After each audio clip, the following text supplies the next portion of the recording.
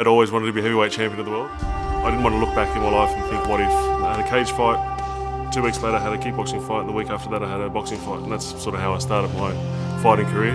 It got to the point where I didn't. Um, I knew that I wasn't going to be an MMA fighter. I threw two kicks in eight fights as well, so everything was just punching. So I sort of quickly realised and, and, sort of just the path of boxing.